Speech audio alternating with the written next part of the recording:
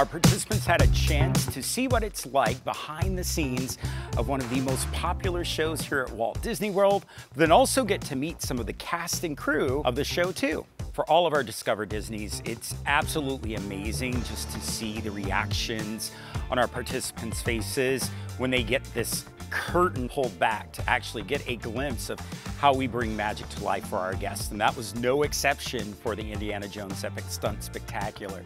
Our Discover Disneys are really experiential learnings that get our participants out into the areas and to hear from some of our leaders and our cast members in our operations. Hello, my name is Clifton Baxter. I am currently the lighting crew chief here at Indiana Jones Epic Stunt Spectacular and I am a college program alumni from 2008. Suggestion I can make to anybody that is on the program is to network as much as possible, get to know full-time cast members, get to know salaried leaders, anybody that works in or near the area that you want to make your way into. Just networking and people getting to see your face and getting to know you, it can go a long way. So really, when a college program participant attends one of these tours, not only are they exploring the attraction, getting to experience the attraction, but they're also getting a glimpse on how our operations teams truly bring magic to life.